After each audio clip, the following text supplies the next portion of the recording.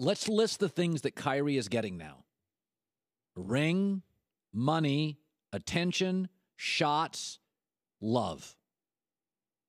Let's list the things that he's not getting more attention than LeBron.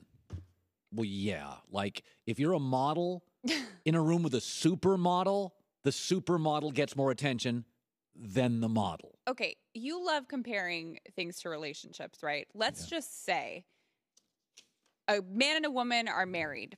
The man is cheating on his wife or talking really badly about her to all of his friends, and now she wants out of the marriage. So the man gets mad because she wants out of the marriage. Is Well, that yeah, right? If somebody is cheating on you, you should leave the marriage. Well, there have been reports that LeBron was looking to bring someone else in instead of Kyrie, maybe Chris Paul.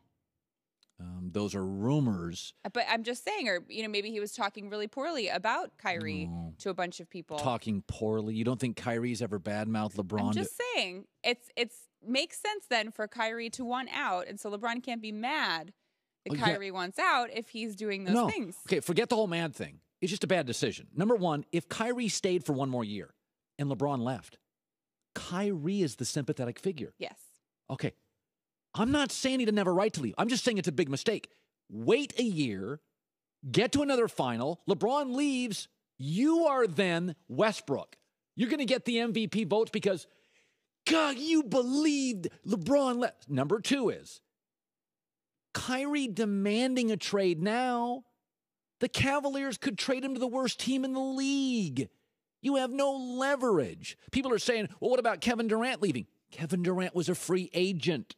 Kevin Durant could decide where he wanted to go. The Celtics wanted him, Washington wanted him, Golden State wanted him, Portland wanted him. He chose the best team.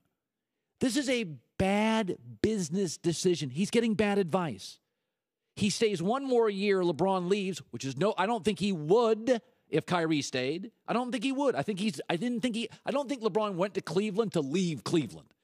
I think what would happen, they'd get to the finals again, they'd probably lose. You'd talk about it, but LeBron would eventually stay. But you would at least be the sympathetic figure, Kyrie. And then, secondly, demanding a trade, you don't have the ability to dictate where you fall. This is not like Kevin Durant at all, who's a better player to begin with. It's not comparable. Listen, if Julian Edelman said today, I am just not happy playing with Tom Brady, you'd be like, okay, first world problems. You're not going to get as much attention as Tom Brady. Kyrie Irving's big complaint here isn't shots, isn't a shoe deal, isn't a title, isn't money. It's I'm not getting as much attention. You would be the franchise guy if you didn't play with the best player in the league.